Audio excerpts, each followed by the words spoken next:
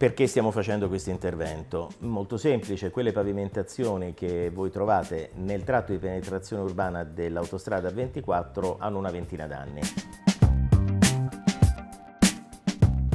Non è un problema di portanza, ma è invece un problema di drenabilità e di conseguenza la loro capacità di smaltimento delle acque eh, piovane è ormai limitata, il che si traduce di fatto in risollevamenti, eh, pozze, possibilità di aquaplaning. Quindi abbiamo deciso di intervenire sappiamo bene che intervenire in quel tratto senza dare turbative al traffico è praticamente impossibile. Però eh, era diventato necessario e quindi abbiamo preso il coraggio a quattro mani e programmato l'intervento in questo periodo dell'anno per due ragioni. La prima è perché non si può fare se non in un'estate stabile. Il secondo motivo perché Nell'ambito del periodo estivo l'analisi statistica dei flussi di traffico mostra chiaramente che questa finestra temporale che noi abbiamo allocato dal giorno 27 di luglio al 14 di agosto è quella che provocherà le turbative di minore entità alla circolazione.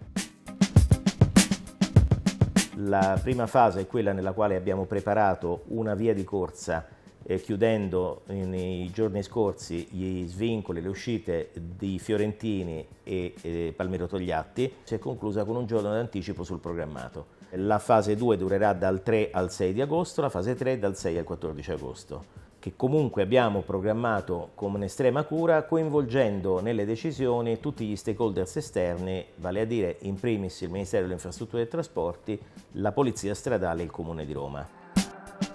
Giusto per darvi qualche eh, numero, avremo 50 camion in, oper in, operazione, contemporaneamente attivi su tre turni, avremo 6 macchine eh, fresatrici che serviranno a togliere la pavimentazione esistente, eh, di queste 4 contemporaneamente in attività, 2 ferme nell'attesa eventuale che ci sia un guasto ad una delle macchine operatrici e quindi non avere il problema di dover attendere per mobilitarne un'altra. E lo stesso discorso vale per le finitrici, cioè quelle macchine che fanno la pavimentazione nuova. Ne avremo quattro contemporaneamente in azione e due ferme, due in stand-by nel caso di guasto ad una delle macchine operatrici.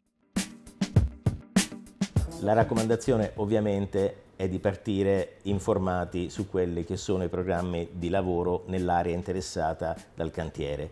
A questo proposito è a vostra disposizione il nostro sito web con tutte le mappe di dettaglio, ma non esitate a contattarci sia sui canali social che al numero 840 04 21 21 dove avete informazioni in tempo reale sulla viabilità.